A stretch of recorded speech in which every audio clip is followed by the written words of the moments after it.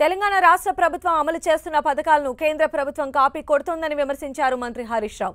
పశువుల కోసం తెలంగాణ ప్రభుత్వం అంబులెన్స్ సేవలు అందుబాటులోకి తీసుకొస్తే కేంద్ర ప్రభుత్వం ఈ పథకాన్ని దేశం మొత్తం అమలు చేస్తోందని విమర్శించారు.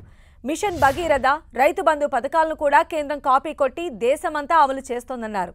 కేంద్రం తెలంగాణకు ఢిల్లీలో అవార్డులిచ్చి గల్లీలోకి వచ్చి విమర్శలు చేయడం బీజేపీ విధానాలని ఎద్దేవా చేశారు హరీష్ రావు.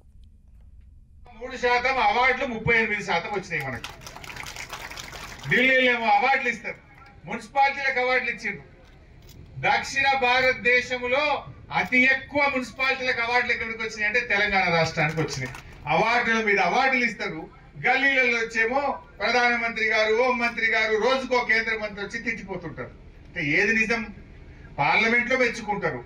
ఢిల్లీ వేదికల మీద అవార్డులు ఇస్తారు. గల్లీల్లో వచ్చేమో తెచ్చిపోతాం అంటే ఇది మన పరిపాలన బాగున్నట్ట బాగాలేనట్ట? నూటికి నూరు శాతం ఇవాళ తెలంగాణ భారతదేశానికి ఒక దిక్సూచిగా నిలిచింది. జనాభా మూడు శాతం అవార్డు